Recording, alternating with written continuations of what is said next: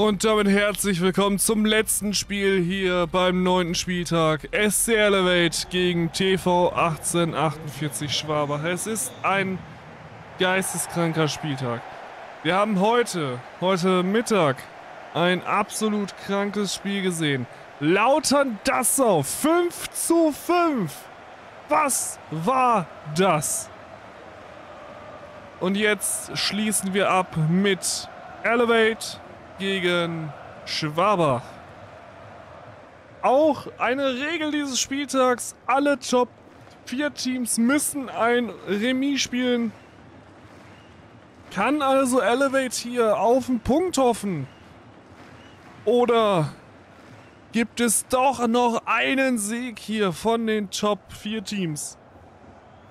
Wir achten mal hier auf die Startaufstellung. Wir werfen einen Blick drauf. Elevate mit einer 4-2-1-2 Aufstellung. Genauso wie gegen Hoffenheim, wo sie ganz knapp ausschieden. Und hier die Aufstellung von Schwabach. Trissler im Tor. Dann Delima auf der 6, der hier in dieser Saison sein Debüt feiert. Also auch sein Startelfdebüt.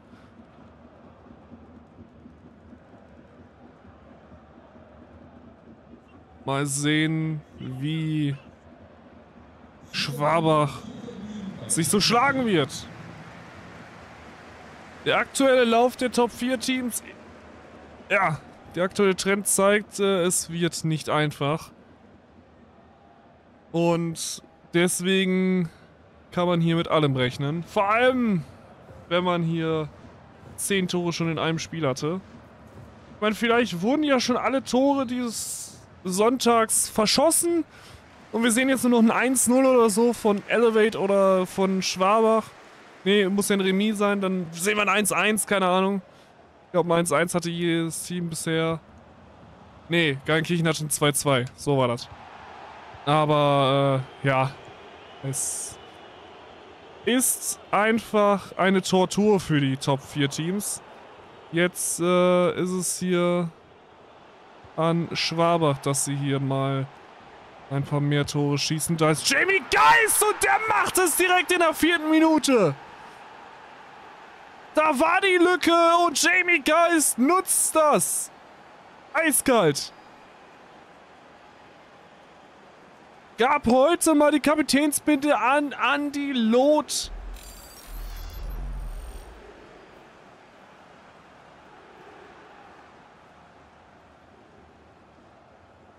Und schon trifft Geist ein weiteres Mal. Die Lima war auch mit dabei. Und so schnell kann es gehen. Aber wir haben gesehen, man kann sich hier auf nichts verlassen. Onigiri könnte jetzt auch hier innerhalb von 5 Minuten einfach 10 Tore schießen. Es würde mich gar nichts mehr wundern. Aber bleiben wir mal alle ganz ruhig. Und äh, ja, Hesky bekam eine gelbe Karte. Ganz wichtig anzumerken. Da ist jetzt wieder Geist und Hut ist zur Stelle. Und Hesky. Aber Hut wieder.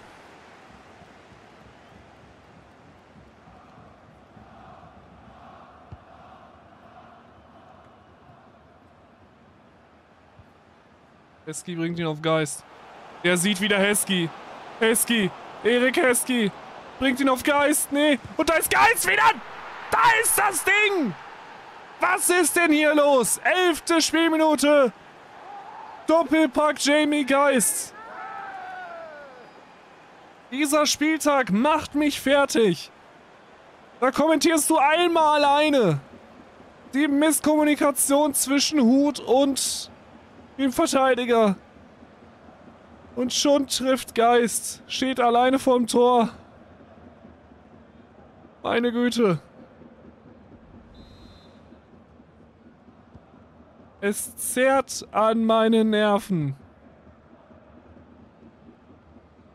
Da fehlt Dominik einmal krank und schon passiert hier alles. Alles und äh, man kann es nicht einmal beschreiben. Denn egal wie man es beschreiben würde, man würde einem eh nicht irgendwie glauben. Fuchs. Da ist Halfer. Kanlic. Fuchs. Ja, die Lima auf Kanlic. Da ist der Lima! Mit seinem ersten Schuss hier in dieser YouTube-Bundesliga-Saison.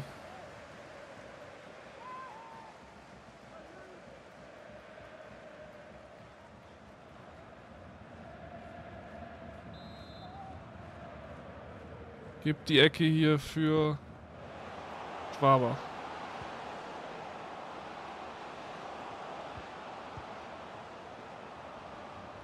Geist.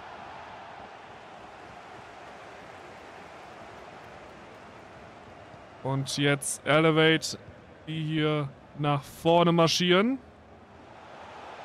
Onigiri.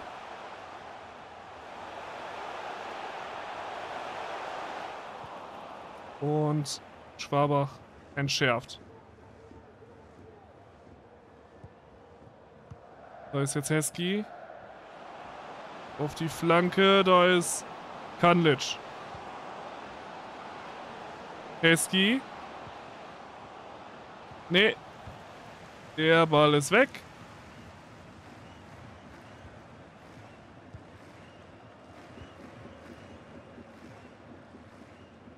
Und von Tauchen.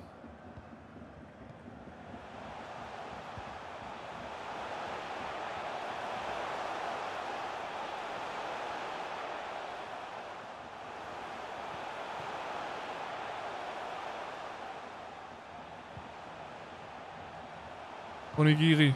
Da ist Kötz und Trissler. Zur Stelle. 27 Minuten gespielt. Oh, die Grätsche war unnötig. Die Grätsche war sehr unnötig. Demar könnte da sogar rot sehen. Und die seht ihr auch nach 27 Minuten. Demar sieht rot.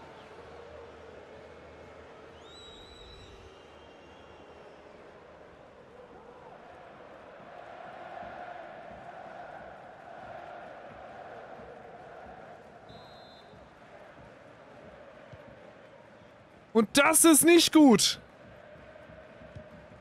Es war die erste rote an diesem Spieltag, aber meine Güte. Es kann doch nicht wahr sein, dass wir so viele rote Karten haben. Auch wenn gerade die Rotsperren so langsam auslaufen. Jan darf ja schon wieder spielen. Aber damit ist der nächste Spieler gesperrt. Und tauchen.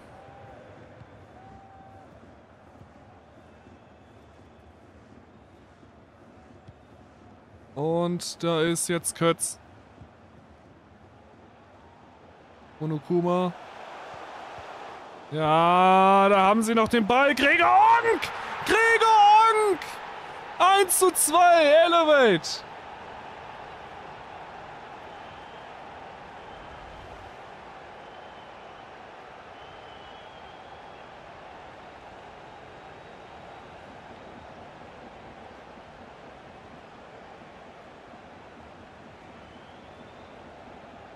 Gregor Onk macht das Tor. Und Element ist wieder da. Nur ein einziges Tor trennt die beiden. Und das in Unterzahl. Vielleicht bestärkt das hier nochmal Elevate. Elf Spieler sind auch zu viele auf dem Feld, deswegen na, muss man sich ja ein bisschen dezimieren, damit man hier das volle Potenzial entfalten kann, oder wie? Da ist jetzt Hesky.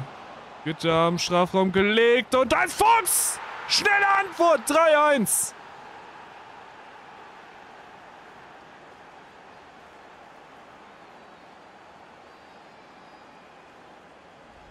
Das ist genau das Ding. Querball Kanlic auf Fuchs und er macht es.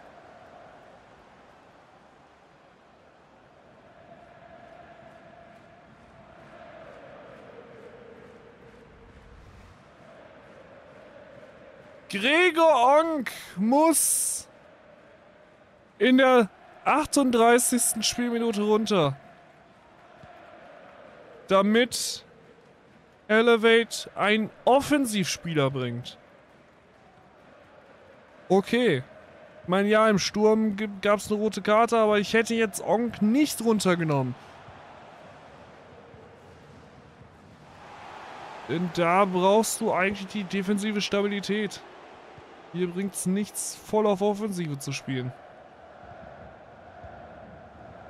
Nicht, wenn du schon 3-1 zurückliegst. Ja, ne, was hast du noch groß zu verlieren? Ich weiß, aber ich bin mir echt nicht sicher, ob das der Weg ist, den sie hier einschlagen sollten. Delima, Flügelwechsel auf Jamie Geist. Schickt Kokosan. Anis Kokosan. Hesky legt ab und da ist Fuchs ein zweites Mal. 45. Spielminute, 4 zu 1 für den TV, 1848 Schwaber.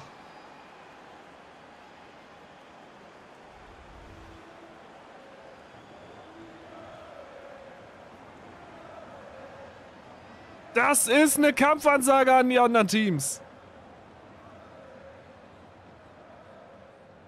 Natürlich, Elevate, muss man sagen, dezimiert. Nach dem 2-0 kam die rote Karte, dann erzählte Gregor Onk das Tor. Ja, und Fuchs traf dann zweimal. Es läuft für Schwaber. Aber Elevate, sie geben noch nicht auf. Der SC Elevate, der will hier mindestens mit einem Punkt hier nach Hause, beziehungsweise Schwabach wegschicken. Aber es wird schwierig. Wulk. Wulk am Ball und Trissler.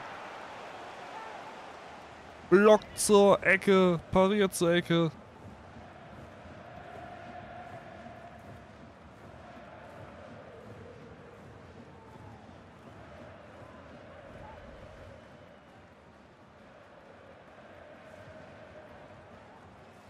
Eine Minute gab es drauf. Wir sind schon in der vierten Minute der Nachspielzeit. 4 zu 1 für die Gäste. Und der Ball ist draußen. Und deswegen gibt es auch den Halbzeitpfiff. 1 zu 4 aus der Sicht der Gastgeber. 1 zu 4 zur Halbzeit. Und Helmut Fuchs, bei dem läuft heute einfach alles.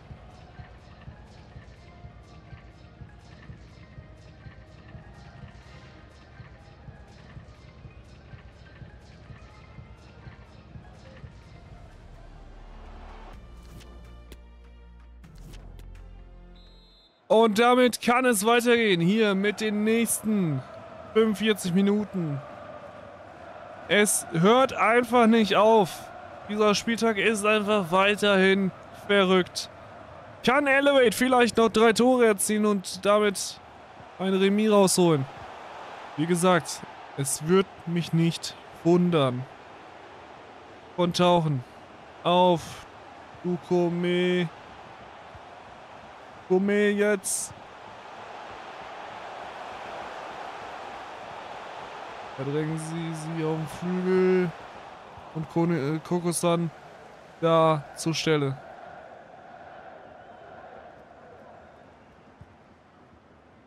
Jamie Geist. Geist auf Kokosan. Die bringt ihn auf Fuchs. Hesky. Da ist Ros. Demi Geist. Legt ihn ab. Da ist Kokosan auf Hesky. Hesky und der macht auch noch einen. 5 zu 1 für Schwabach. 54. Spielminute. Es tut ein wenig weh.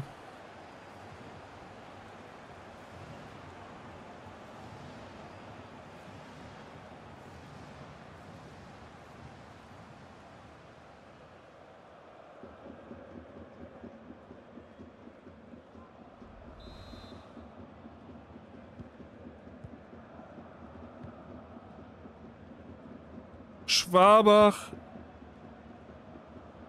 deklassiert Elevate aktuell. Und dabei ist eigentlich Elevate auf einem vielversprechenden Weg, nur mit einer roten Karte ist es einfach schwierig, so einen Rückstand aufzuholen. Und so langsam zeigt auch Schwabach, dass sie hier nichts anbrennen lassen. Natürlich gegen Sprockhövel nicht die beste Leistung gezeigt. Ähm, aber Sprockhövel auch aktuell mega in Form, hat man gegen Hagen gesehen. Haben Hagen da keine Chance gelassen. Und deswegen wird das, äh, glaube ich, vom Vorstand verziehen, dass man hier nicht in Sprockhövel gewann. Gegen Elevate war es ein Must-Win und oh, Hesky schießt da an den Pfosten. Das hätte das 6-1 sein können. Und Geist, der schießt daneben. 63. Minute, es wird gewechselt. Delima geht runter und auf der 6 spielt Rademacher.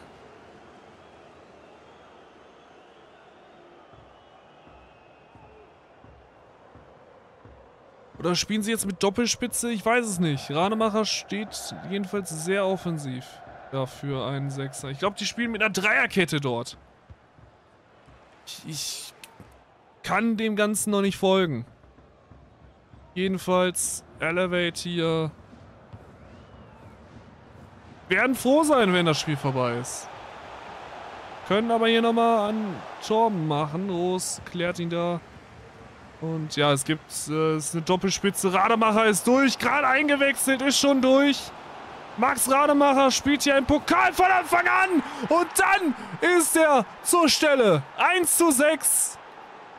Der Joker für Gabriel Delima.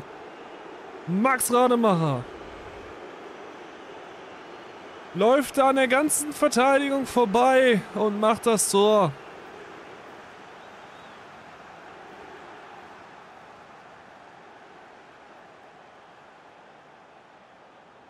Oh, weia.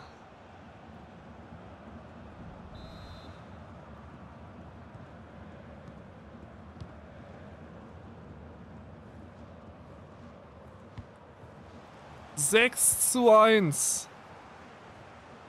Und Schwabach wieder auf dem Weg nach vorne. 20 Minuten haben wir noch. Fuchs auf Hesky. Der auf Rademacher. Der macht sein zweites!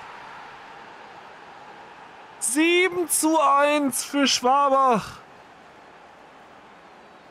Und ich würde jetzt nicht sagen, dass Rademacher gegen Augsburg seine Topleistung gebracht hat, aber hier hat er gerade richtig Bock auf Tore schießen.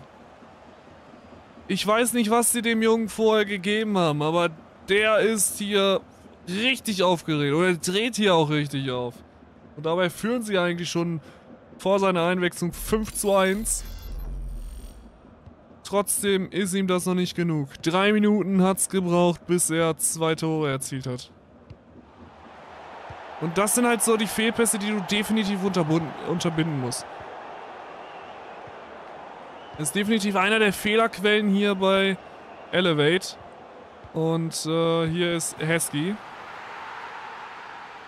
1 zu 8. 74. Spielminute.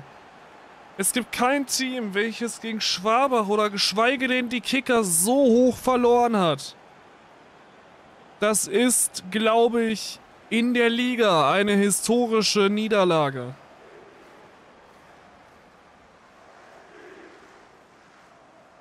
Ich meine, die höchste Niederlage vorher war im Pokal German Suplex FC gegen RB Geilenkirchen als RB Geilenkirchen, glaube ich, 7 zu 2 oder so verloren hat.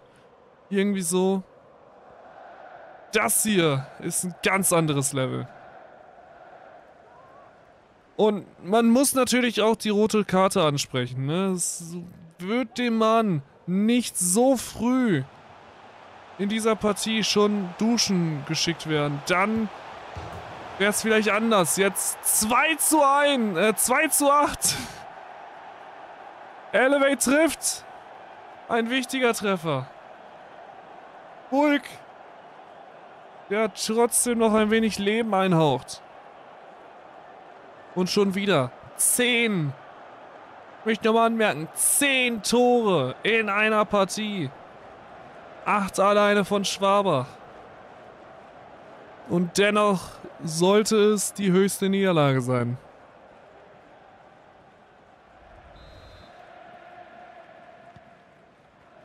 Und keiner der Schwabacher hat einen Hattrick gemacht. Das ist, glaube ich, das äh, Quintessenz, die wir hier mitnehmen können.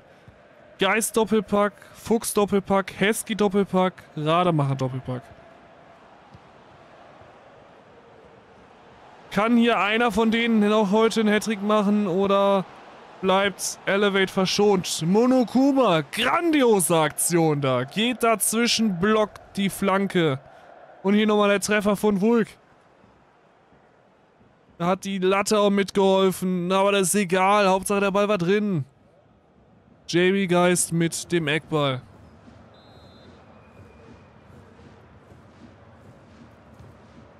Hesky kam kurz. Ja, da ist Lot. Und Kokosan, aber der geht rüber. Wechsel. Halilovic kommt für Kanlic.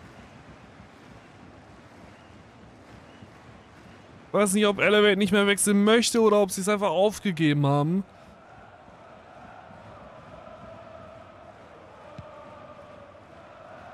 Jedenfalls wäre ein bisschen Ergebniskosmetik schon gut.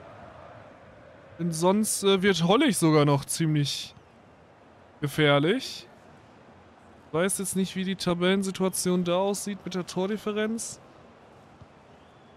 Da ist jetzt Kokos dann durch. Da ist Fuchs. Ja, äh, aktuell ähm, wäre sogar Hollig vor Elevate. Soweit ich weiß. Ja, sie werden mit der Tordifferenz äh, gleich auf und Elevate, äh, also Elevate hat ein Tor weniger geschossen als Hollig. Das heißt, Hollig wird sogar einen Platz gut machen, wenn Schwabach hierbei bleibt. Karl Schön kommt jetzt hier für Hesky, für die letzten paar Minuten. Das Spiel ist schon längst vorbei, das wissen beide. Und wenn Elevate hier nochmal das Tor macht, dann können sie fürs Erste auf ihren vorletzten Tabellenplatz bleiben und die Latte rettet Hollig. Und natürlich Schwaber, einen weiteren Treffer. Kötz jetzt hier, Halilovic. Und das war's!